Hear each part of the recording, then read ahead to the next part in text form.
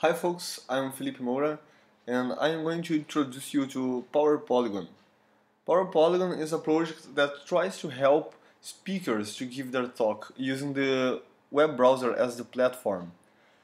It's based on HTML, JavaScript and CSS3 to, as the main technologies.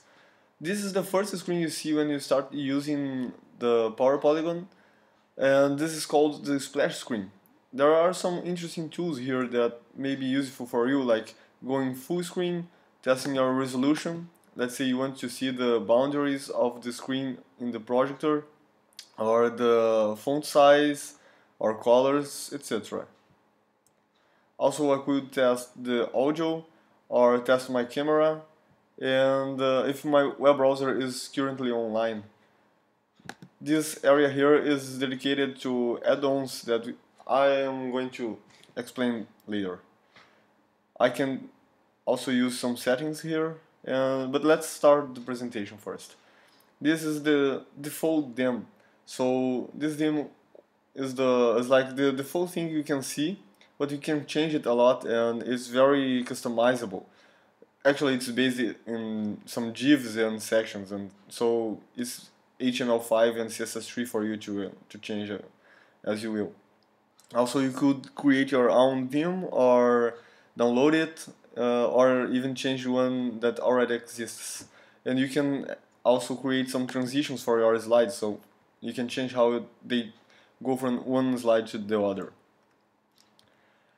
Um, Power Polygon also offers you some default animations, some internal animations. So you could use, for example, jQuery to animate your elements, but Power Polygon offers you some interesting or more complex animations for you, like bouncing or other effects.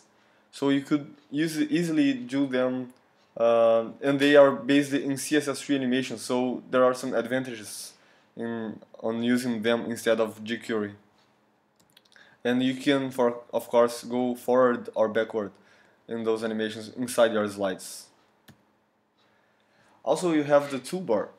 This toolbar allows you to use some interesting tools like saving as PDF or printing it, or you can check the thumbnails version of your talk, and you could, for example, change the size of your of your texts, or go to a specific slide, open the this tool. This is the presentation tool. It will help you to go forward or backward with your slides, and also see in which slide you are or the notes of that current slide, the next slide or for how long you are talking. Also, I could, for example, search for words in, inside the slides like welcome. So I can see that there is the word welcome in the first slide. Also, I could uh, toggle the full screen or open my webcam.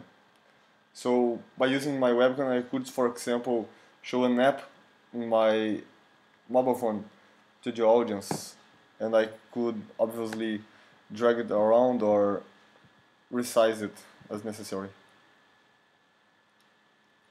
Another interesting thing here is that I can, for example, specify more than one language for my talk. So I could, for example, go into the settings, change it to Portuguese, and my slide becoming Portuguese. It's very easy to create.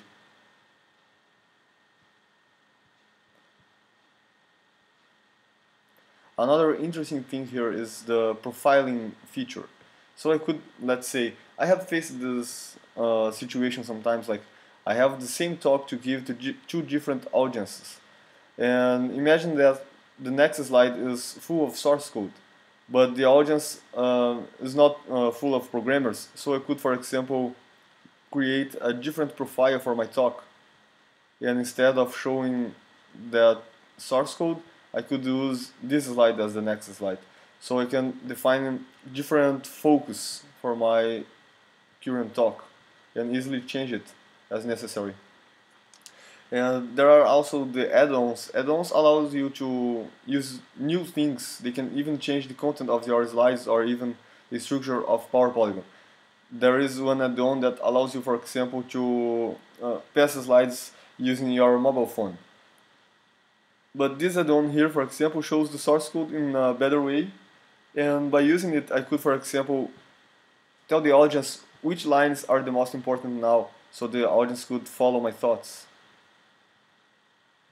Also, I could toggle the camera inside my slide using JavaScript.